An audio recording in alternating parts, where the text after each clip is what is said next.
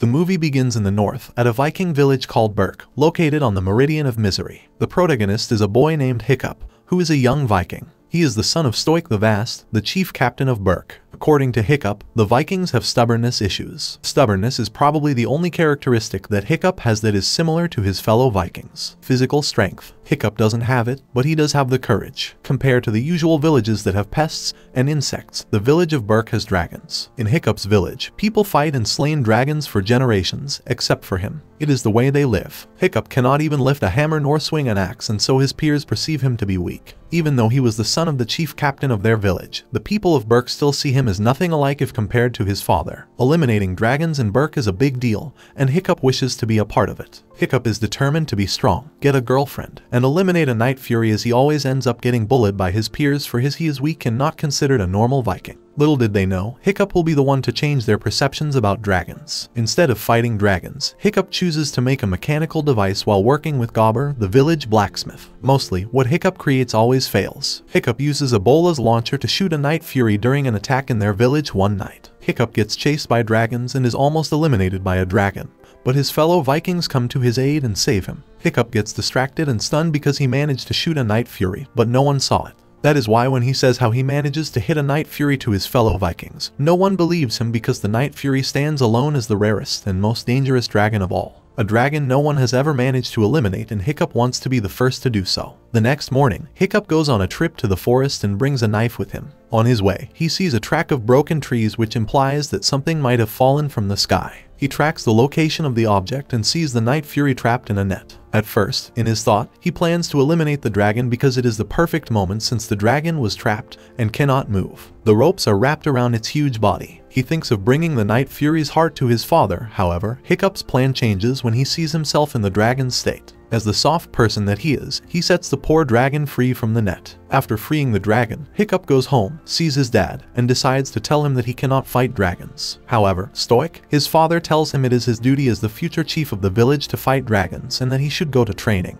Before they see each other, Stoick talks to Gobber regarding Hiccup. Stoick is unsure if should he allow Hiccup to fight dragons because of his physical strength and worries that it might be a hindrance. The possibility of Hiccup's demise while fighting dragons scares him. Stoick realizes that he cannot always protect Hiccup from danger, so he decides to allow Hiccup to go out and fight dragons just like normal Vikings do. As Hiccup enters the training camp, he sees his fellow teenagers and friends named Fishlegs, the twins called Ruffnut and Tuffnut, Snotlout, and Astrid, whom Hiccup has a crush on. As he fails to fight the dragon in their training, Hiccup goes back to the forest and accidentally sees Night Fury again who is struggling to fly because of his injured tail fin. Hiccup knows that it was his fault, because of the Bola's launcher that he used to shoot the poor Night Fury. The sound of the thunders resounds throughout the night when Hiccup returns to the training camp and sees his fellow teenagers. Gobber instructs the teens to read the book that he gave them, a book containing all the information about dragons and their characteristics. Astrid and her friends leave and Hiccup has nothing to pick from so stays up to read. There he sees the weaknesses of the dragons, but when he reaches the page dedicated to the Night Fury,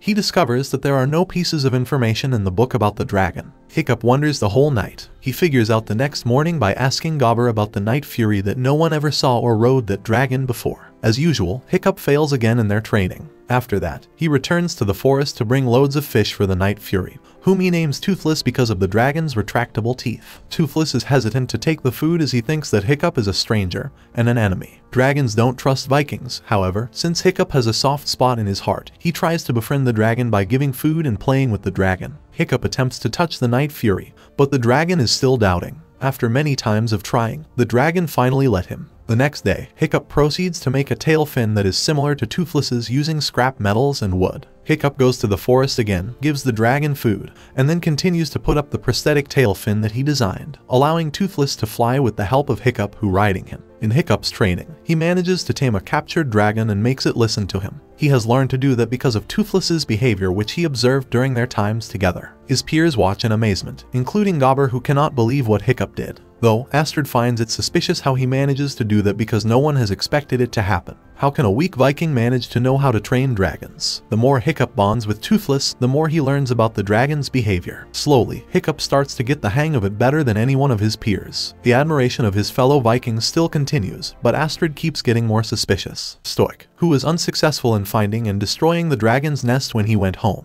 bursts in delight upon hearing the news that Hiccup was judged to be the winner of his dragon training. He cannot hide how proud he is of his son. In the final exam, Hiccup is required to terminate a dragon. He thinks of running away with Toothless but Astrid catches him. Astrid sees Hiccup going to the forest and decides to follow him for the reason that Astrid finds Hiccup suspicious. What Astrid finds leaves her in shock, while Hiccup tries to hide Toothless. However, Toothless growls and blows their cover. Hiccup just thinks of a way to let Astrid know that Toothless is friendly and decides to show her by making her ride Toothless with him. Astrid sees the wonderful view of the sky and the sea and agrees to what Hiccup wanted, to let him explain first. While they are on a sunset flight, a flock of dragons shows up beside Toothless. Hiccup and Astrid bow their heads to avoid being seen by the dragons. Toothless gets hypnotized and is dragged to the dragon's nest, the one that the Vikings are looking for for ages. There, a gargantuan dragon named the Red Death summons the smaller dragons to feed them alive food to avoid being eaten themselves. Astrid wants to tell Stoick that Hiccup found the dragon's nest, however, Hiccup is afraid that they will hurt Toothless. Hiccup asks for a day to think about what they should do. The next day comes, so is Hiccup's final examination of terminating a dragon where hundreds of fellow Vikings watch from above. But Hiccup has a different plan, to show the Vikings and his whole village that dragons are friendly, and they don't need to terminate them. However, Stoick is unhappy with what he sees. When Hiccup tries to tame the dragon, Stoick commands them to stop the fight which makes the dragon angry. The dragon goes rogue and tries to go for Hiccup. When the dragon roars, Toothless wakes up and hurries to save Hiccup from the dragon. Toothless fights the dragon that is oppressing Hiccup. Stoick and the Vikings get dumbfounded when they see a Night Fury. Hiccup's father goes on to capture Toothless and so was the whole village, even though it was against Hiccup's will. When Hiccup and his father talk, Hiccup accidentally says that he has been in the dragon's nest. Hiccup says that only a dragon can find the nest and that the dragons that attacked their village were forced to do that to save themselves from Red Death. Stoick ignored the warnings which Hiccup gives and later disowns Hiccup as his son even a bit emotional. Stoick immediately continues the plan to go to the dragon's nest. The Vikings prepare the boats and weapons that will be used on their trip.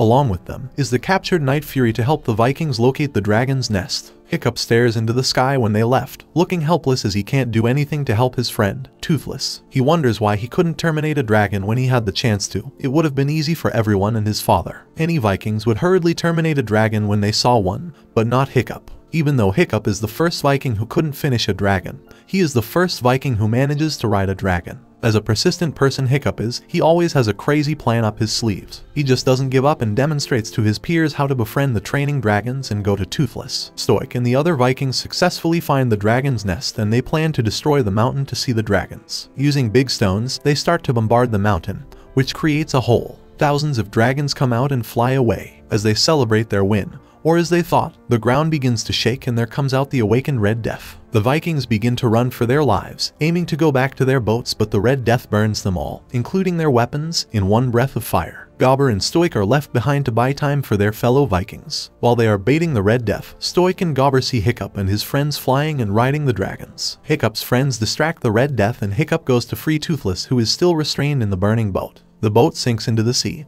and Hiccup and Toothless start to drown. Stoick comes to the rescue and saves both Toothless and Hiccup. Before Hiccup flies with Toothless to fight the Red Death, Stoick apologizes to his son for what he did. Stoick brought chaos into his people, and Hiccup will fix it for him to save his fellow Vikings who once told him that he doesn't belong to them. Hiccup and Toothless then speed off to lure the Red Death into the sky, setting a trap for the Red Death. They lead the Red Death into the sky where Toothless starts to attack it with his fire breath. The disoriented Red Death breathes fire all around the air which ends up burning Toothless's prosthetic fin. Hiccup instructs Toothless to dive into the sea and lure Red Death into chasing them down. With Hiccup's signal, Toothless flips and changes his trajectory before firing a fireball into the throat of the Red Death. The fireball burns the Red Death's wings causing it to hurtle to the ground. In the explosion, Hiccup falls when they collide on the Red Death's tail. Toothless dives into the fire to save Hiccup. As the smoke clears, Stoick calls for his son but instead finds Toothless lying wearily on the ground without his fin. Stoick kneels and apologizes for causing his own son's demise. As the rest of the Vikings gather to mourn the passing of his Hiccup,